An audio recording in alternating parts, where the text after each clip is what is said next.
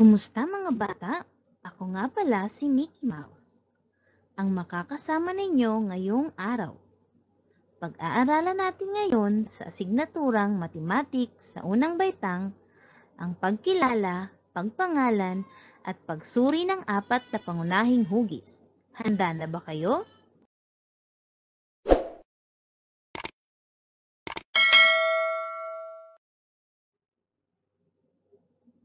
Ang pag-aaralan natin ngayon sa mathematics sa unang baitang ay ang pagkilala, pagpangalan, pagsuri ng apat na pangunahing hugis na may dalawa at tatlong dimensyon.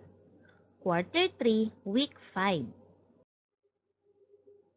Ang most essential learning competency ng ating aralin ay nakikilala at nailalarawan ang apat na pangunahing hugis katulad ng parisukat, parihaba, tatsulok at bilog na may dalawa at tatlong dimensyon.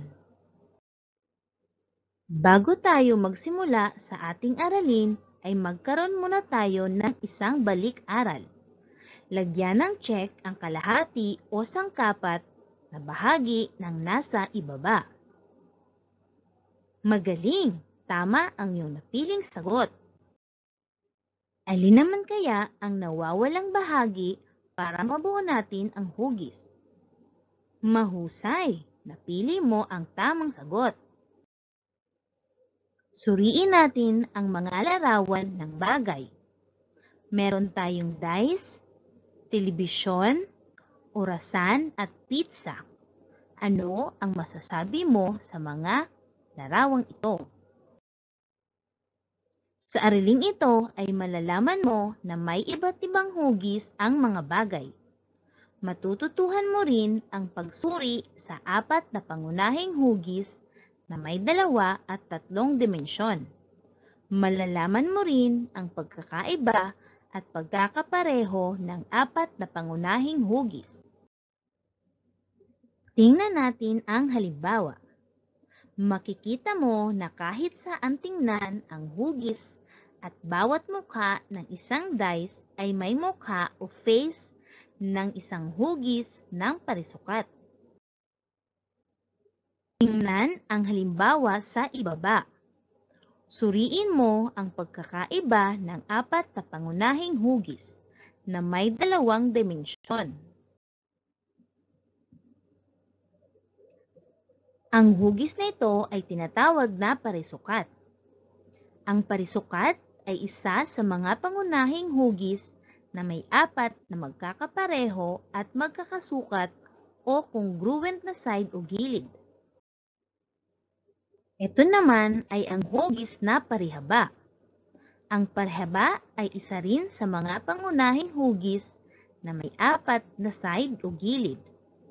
Mayroon itong dalawang dimensyon na magkapareho o magkaiba ng sukat at haba. Ang tawag sa dalawang dimensyon na ito ay ang length at ang width. Ito naman ang tatsulok. Ang tatsulok naman ay isa rin sa mga pangunahing hugis na may tatlong side o gilid.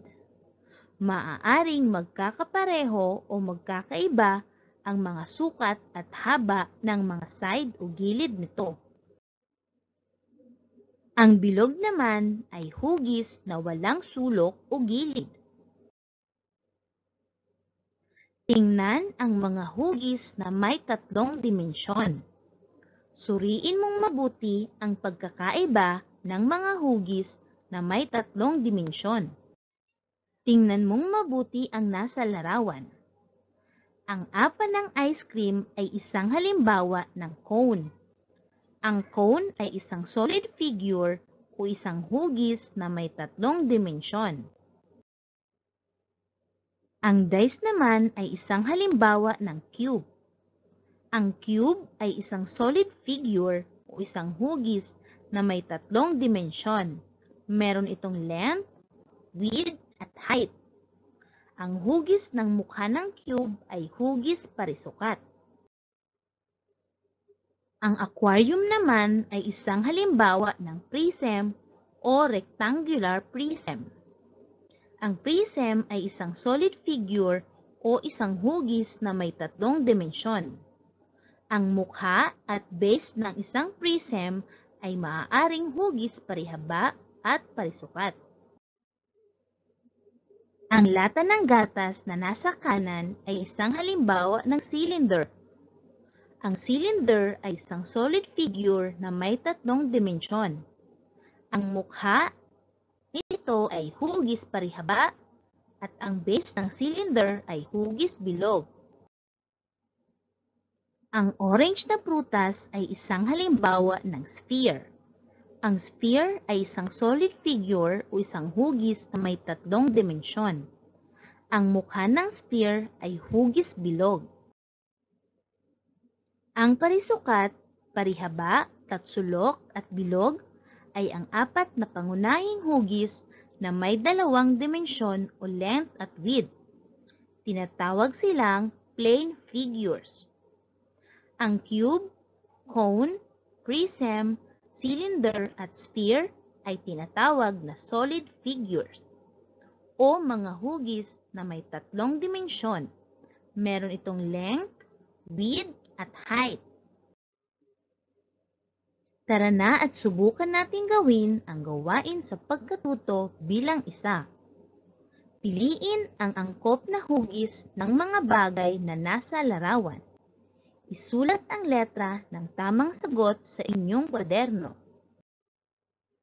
Tingnan at suriin mong mabuti ang mga hugis ng bagay na nasa larawan at piliin mo ang hugis nito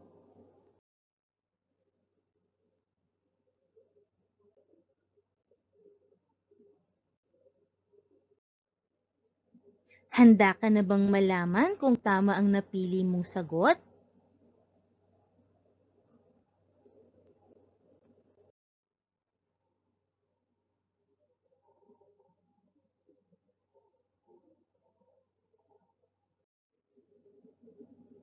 Magaling! Nasagutan mo lahat ng tama ang gawain sa pagkatuto bilang isa. Ngayon naman ay gawin natin ang gawain sa pagkatuto bilang dalawa.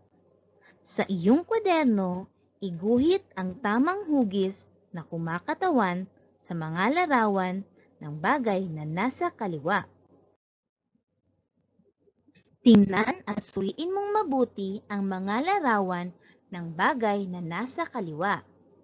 At piliin mo naman kung ano ang hugis na kumakatawan sa mga ito.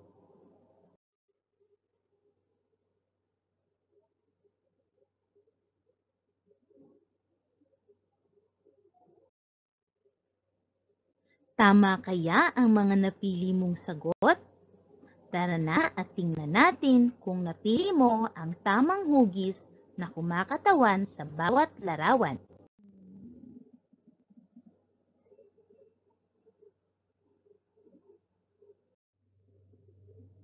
Magaling!